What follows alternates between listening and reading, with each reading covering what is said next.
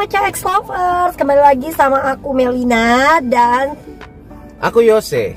Nah kali ini kita akan kembali lagi ke channel kita Kali ini kita akan membahas Bahas apa nih yang?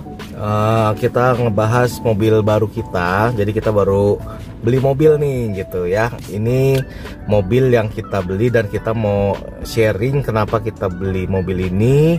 eh, keunggulannya apa? Terus nanti fitur-fiturnya kita juga mau kasih tahu. Terus sama eh, video unboxingnya kemarin lagi sama Clara. Clara copot-copotin plastik gitu.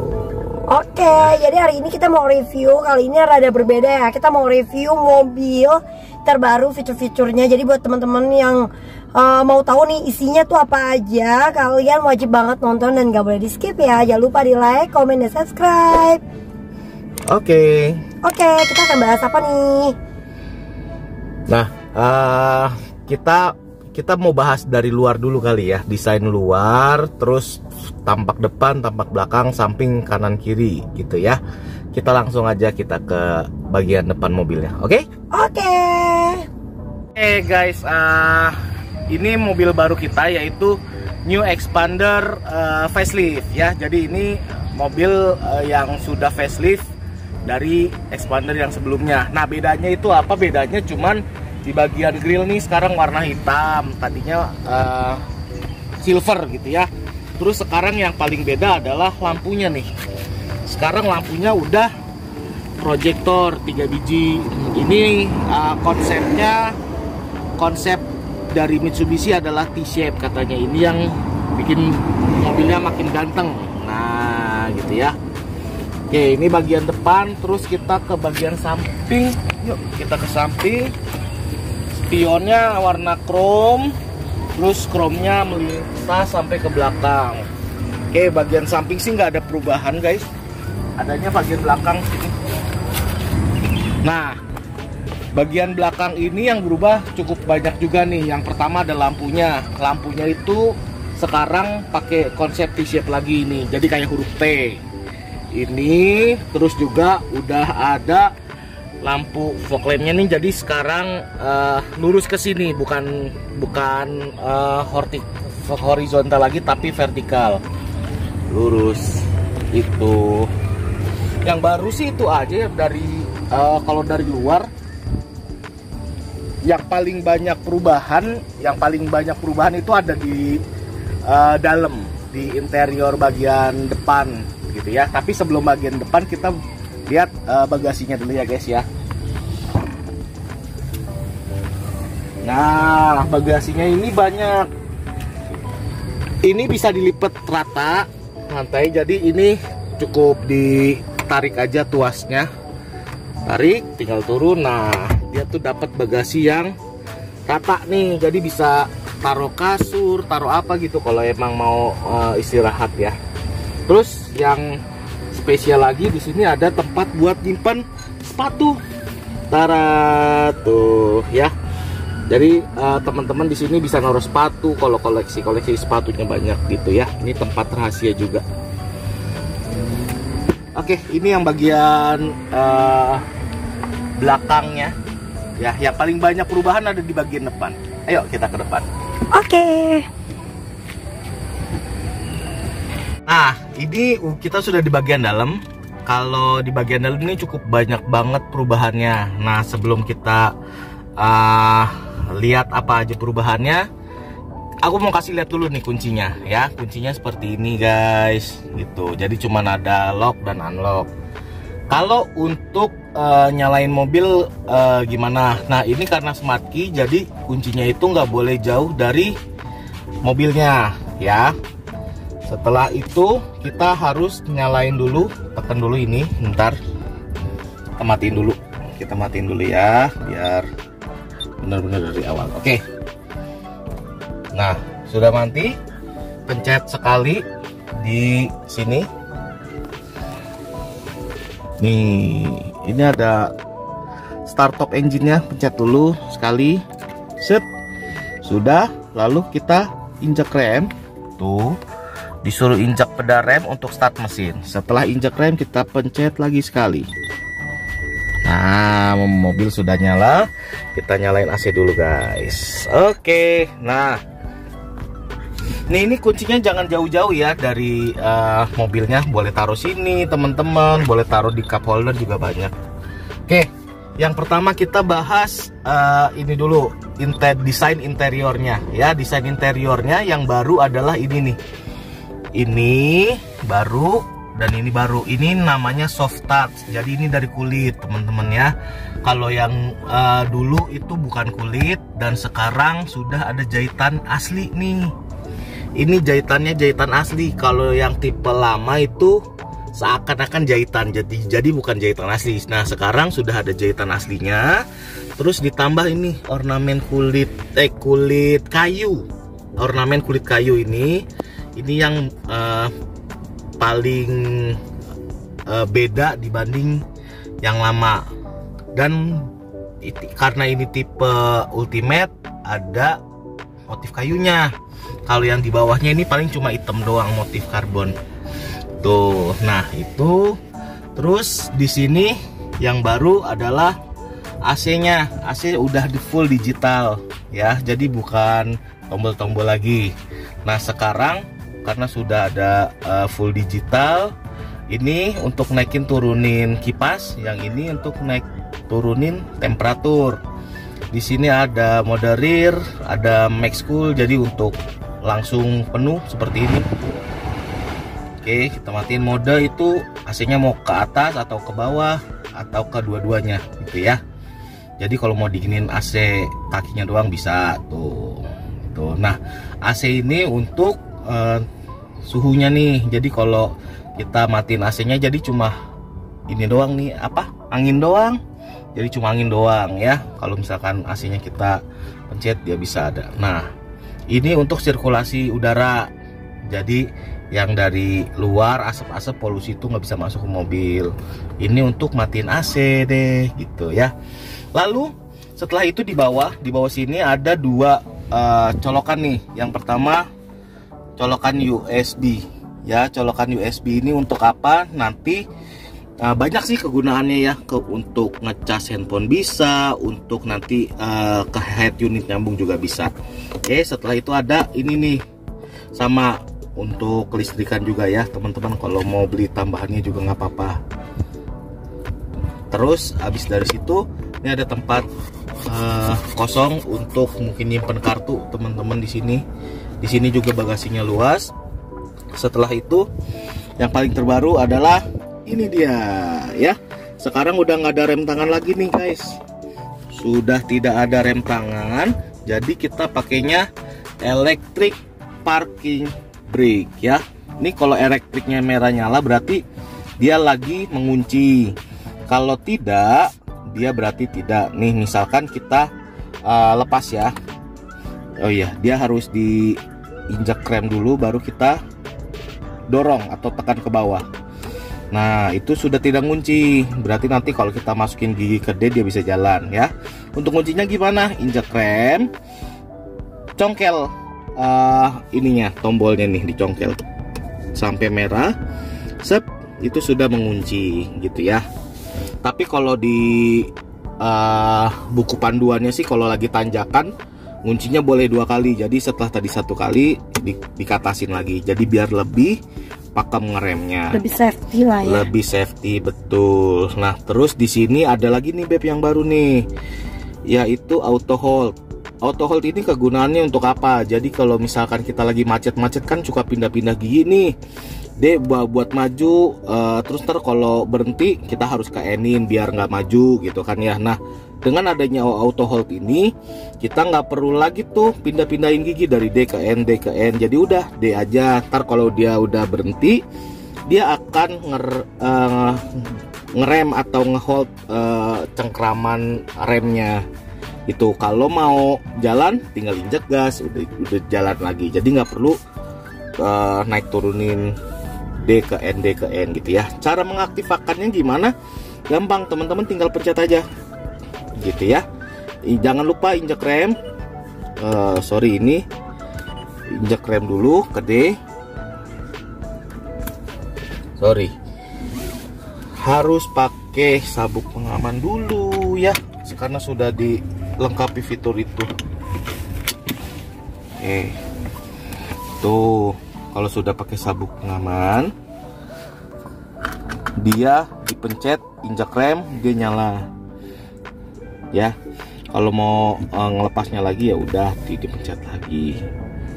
Gitu. Itu yang baru ya udah nggak ada rem tangan lagi sekarang udah ada fitur ini. Terus yang paling baru adalah ini kita ke atas ya.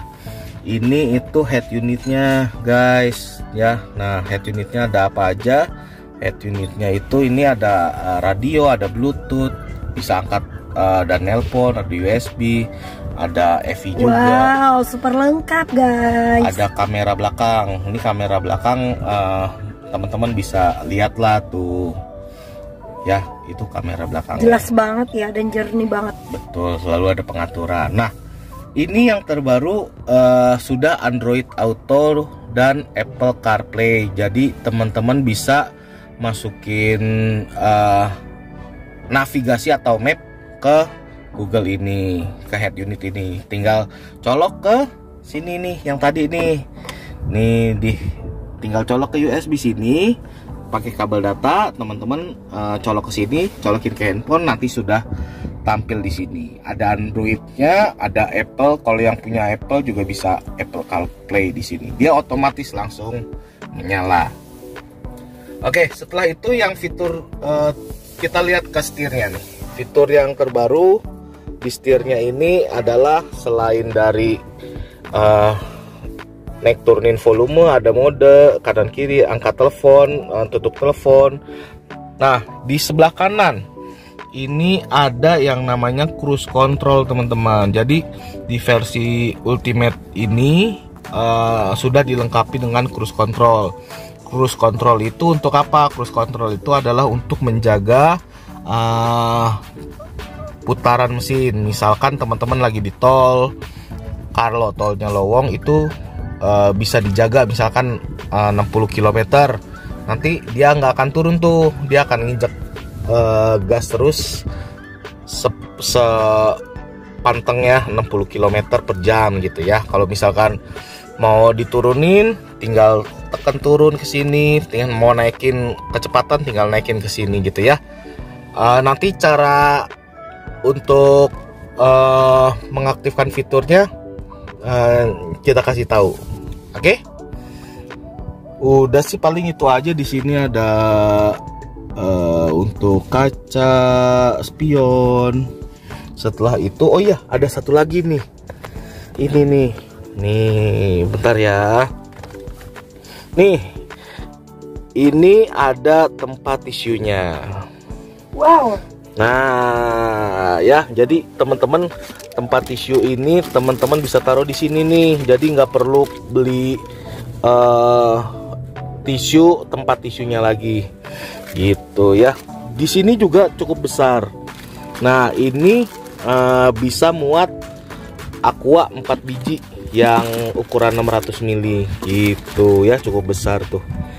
Nya dua cup holder, uh, lalu di situ uh, ininya bisa di turunin jadi sandaran tangan ada cup holdernya juga seperti ini ya contohnya ya mau contohnya boleh ya oke Nah, ini nih ya untuk sandaran tangannya dan juga ada dua buah cup holder. Jadi teman-teman bisa naruh cup holder di situ. Gitu deh ya. Terus satu lagi nih ada uh, laci rahasia di bawah tempat duduk situ. Duduk sini ya.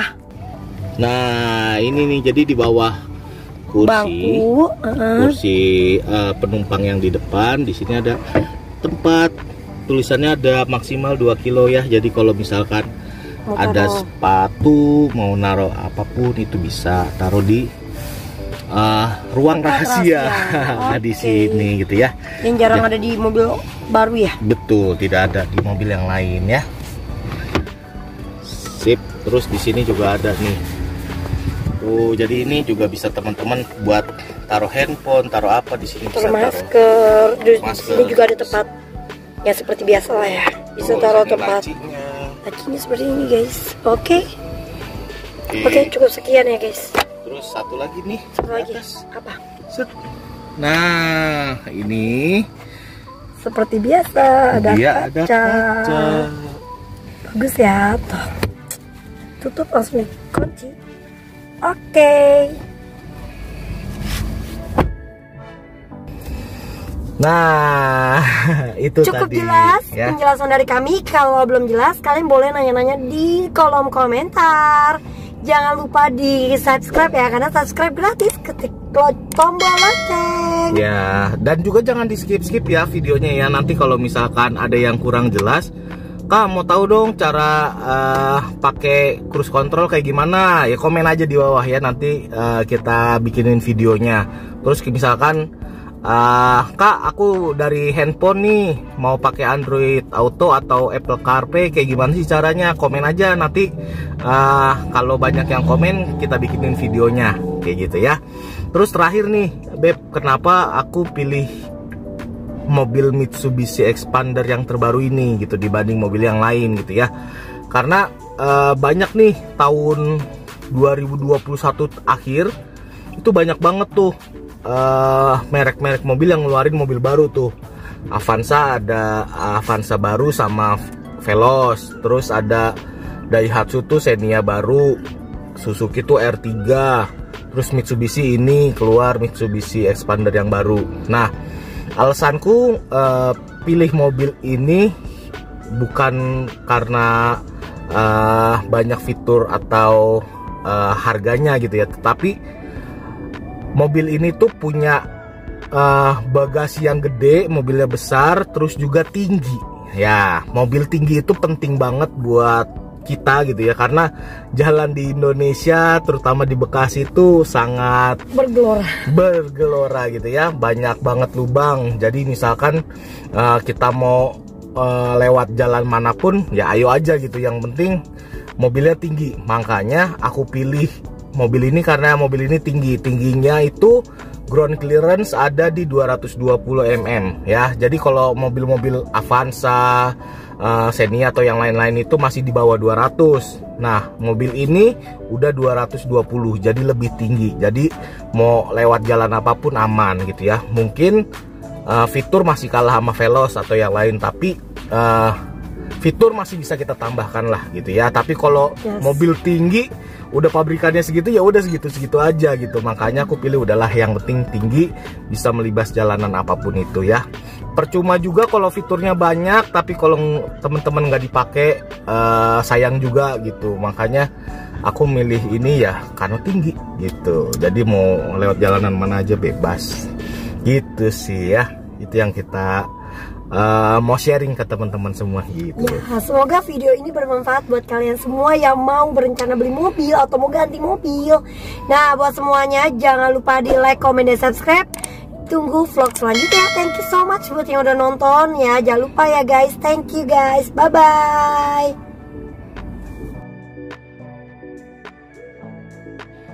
Wow, bersih dong, Clara. Clara, Happy gak ada mobil? Ayo, sekarang kita mau uh, buka-bukain, kletekin, plus. Kletekin plastik. Oke, kita buka dulu. Oke. Klik. Yeay. Kita dari depan apa belakang dulu?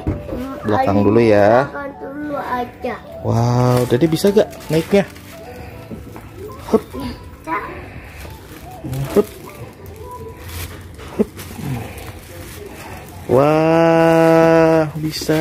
Dedek, dedek, dek, kletekin itu dek, plastiknya dek. Tuh, plastiknya. Nah, sini kasih papi. Wow. Terus apa lagi ya? Ini Ini dulu dek, dek, dek. Ini belum. Nih, dilepas dulu ya, safety beltnya ya.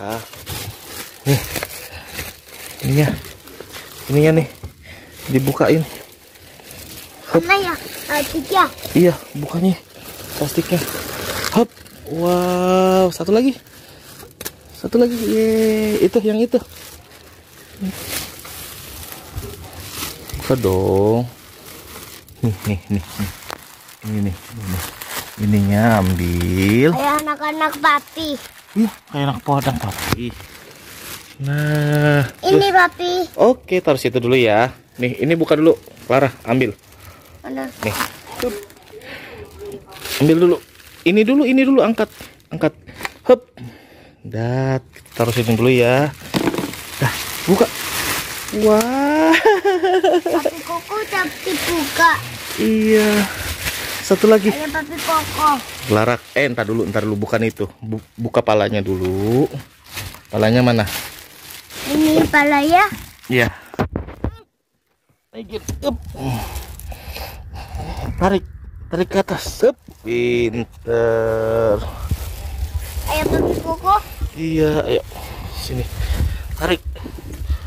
One, two, three. One, two, three. Wow. Ini nih. Dah. Dah, sekarang dedek sana. Lagi belum. Iya, sebelah situ belum ya? Ntar lu, ntar lu. Dedek situ dulu. ini juga belum. Iya, kita turunin dulu nih. Awas, jangan deh awas. Hup. Turunin deh ini deh. Turunin ke sini. Hup. Ayo, papi tarik. Bisa ya? Enggak bisa. Ya udah. Enggak apa-apa. Yuk. Sekarang ini kita ke belakang. Let's go. Belum koko boleh naik. Boleh. Let's go. Bukain dulu plastiknya. Bisa gak? Eh, lepas dulu safety beltnya lepas gimana? Jadi udah bisa belum? Ini sayang. Ini. Hup. Hup. Jangan ditopek. No, jangan tarik, tarik, tarik. Tarik. Yeay. Nah, satu lagi, satu lagi. Satu lagi.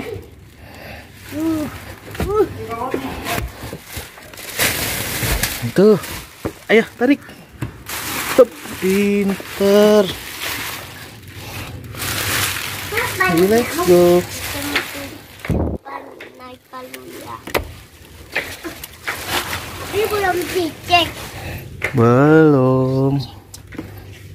Nih, dah pindah ke depan. Pindah ke depan. Iya, ayo pindah ke depan. Hup. Awas, awas. Diam dulu. Teman-teman papi. Iya, Dek, Dek, ini Dek, buka, Dek. Nih, buka. Hup. Awas koko. Iya. Tunggu. Satu lagi. Tunggu Satu lagi, itu yang itu. Kau tunggu ya. Iya ya. Koko Marcelino. Heh. Plastik. Eh.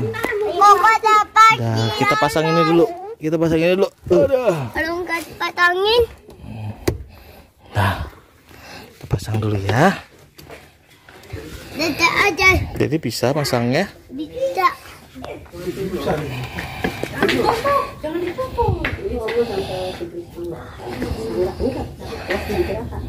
Koko. Ye, Dede bisa. Dek, ini Dek. Dek. Pintu, pintu. Pintu. Nih. Nih, tarik. Awas. Kejedot. Ini? Koko ini Koko. Ini koko, ini koko. Dah. Ayo pindah ke depan. Siap letekin? Letekin. Ye, taruh sini. Hup. Awasin dulu tasnya. Nah, taruh sini dulu. Hup, ini dibuka dulu ya. Tarik terus. Woi, Dede pinter. Ini, entar dulu, entar dulu, buka dulu. No nonton YouTube. No nonton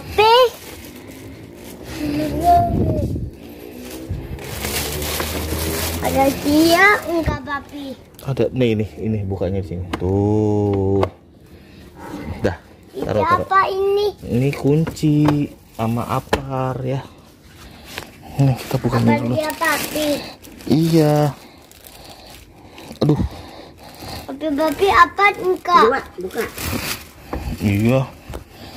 Ini nih, buka nih. Ya Buka, kucing ke oma. Apa sayang? Kucing ke oma. Bagus ya? Kucing ke oma. Iya bagus. Gede ke rumah gitu. Kucing ke oma. Bagus. Satu. Ini mobil Bisa gak naiknya? Hup. Pinter. Oh ini ada karpet deh. Dapat karpet. Yeay. Nih, ini buka. Ini buka. Ini buka. Up. Iya. Ini buka tuh. Buka. buat apa? Iya, buka. Yeay. Boleh yuk. Nanti kebanyakan orang.